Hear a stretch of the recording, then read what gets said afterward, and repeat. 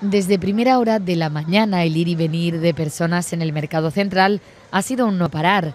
En la mente de todos comprar los productos que necesitan para preparar con mucho cariño la cena de Nochebuena.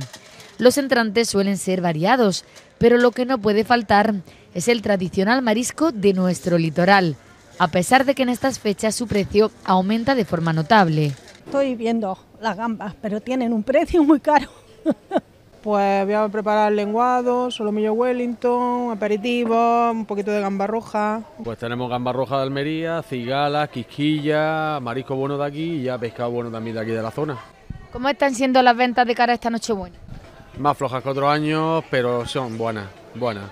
También el tiempo no ha permitido las capturas que se necesitan, pero bueno. ¿Y los precios cómo están?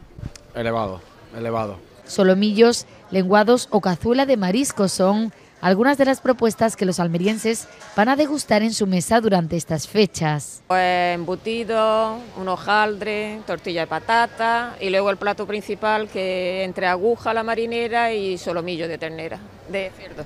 Yo como mucho, pero preparar no preparo nada. Eso sí, son muchos los que aún no tienen claro qué menú preparar mañana y deciden esperar hasta el último día para comprar los productos que irán directamente del mar a sus mesas.